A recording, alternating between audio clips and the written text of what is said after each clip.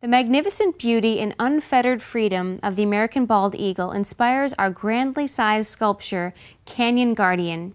At 13 inches tall, this three dimensional sculpture is a towering replica of the magnificent king of the skies, wings outstretched to leap into soaring flight.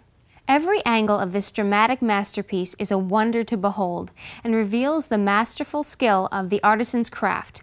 Each meticulously sculpted detail of feather and fierce expression is exquisitely hand painted to perfectly capture the majesty of our national bird in its natural habitat. The craggy rock on which the eagle is perched is adorned with the artistry of wildlife artist Ted Blaylock, acclaimed for his ability to capture the eagle's full glory in flight.